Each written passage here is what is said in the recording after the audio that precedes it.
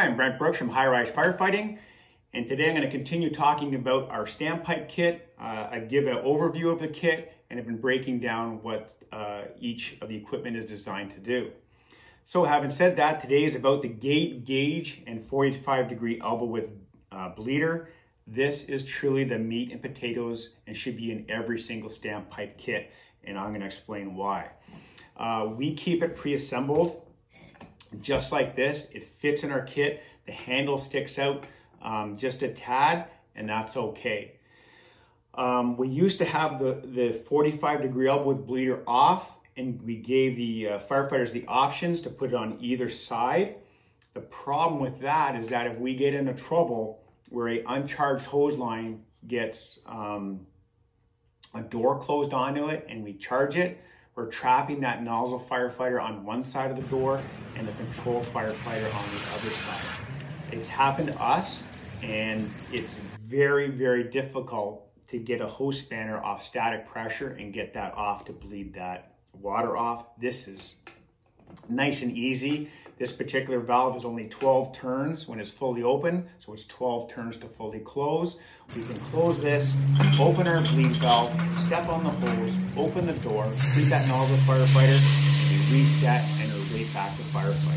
We just close the valve again, and we set our pressure, and we're off to the races. Generally, in our city, uh, we open this about four to four and a half turns, but we do have the full potential to open this uh, 12 turns, which is all the way if you don't have a gauge in your standpipe kit, you have no idea what you're flowing and you don't have the ability to troubleshoot. You need to know what you're flowing. If you hook up that system and you have no pressure, you have to start thinking of a plan A, plan B, or plan C, and you get to do that right off the hop. Charging a line, advancing a line, and getting to the fire department door and try to make entry and realize you have no pressure uh, you're just making a mess of that building. You're inviting smoke into the hallway, you're inviting smoke into that stairwell. You're really making a mess of the building. It's because you didn't have a gate and gauge and you weren't able to troubleshoot or get that plan A, plan B, or C going because of this issue. Um, you don't go to a residential house fire and decide not to use the gauges on your fire truck. You do use the, the gauges. The pump operator at a high rise fire is the control firefighter. They're not down on the street at, on the fire truck. They're up one floor below controlling your pressure. They're, they're the um, engineer or pump operator. So that's why we keep it pre-assembled. We have the option in our kit to add an elbow on either side um, with our 60 degree elbow.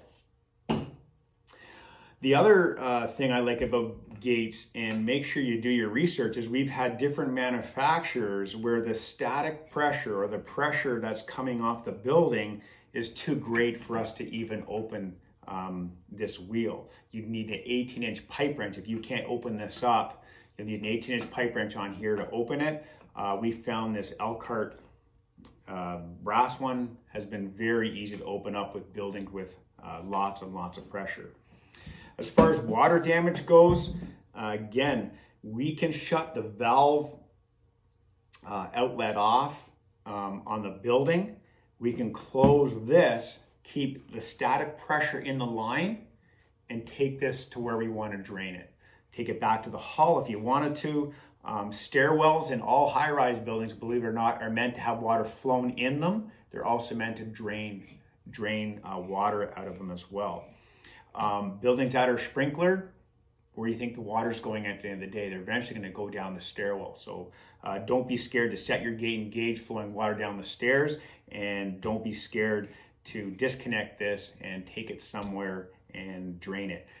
During a firefight, there's no such thing as water damage. We want to punch that fire in the throat and get it knocked down as soon as possible. The longer we let that fire burn, the longer we let that smoke out of that fire unit, the longer we let that smoke out of the hallway, the longer we let that smoke into the stairwell. We want to put a punch right off the get go to that fire and eliminate it. Yeah.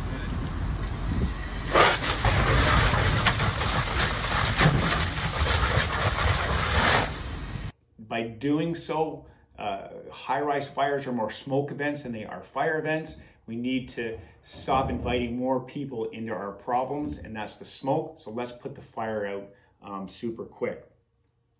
Uh, in saying that, if the building has a PRV system, it's required to be fully open. So we need to use our gate and gauge to control our pressure. I didn't want to talk about nozzles because I do talk about it, but it's sitting right here beside me. When we look at nozzles, we're going in with a big punch right off the get-go, the full potential. That's why I don't like stacked tips. On a stacked tip, I'm going with a small tip and eventually get to my bigger tip, but I want to punch that nozzle out, or I want to punch that fire out as soon as possible. If I don't have reach of stream because I have a low pressure, I'm going to know that um, right off the hop. I can actually switch tip sizes and go with a smaller um, orifice, but just be aware that you don't have the same flow that you have. So I like to go in with the big guns right off the get-go, our proper flows, and get that fire knocked down to, to um, prevent smoke from spreading.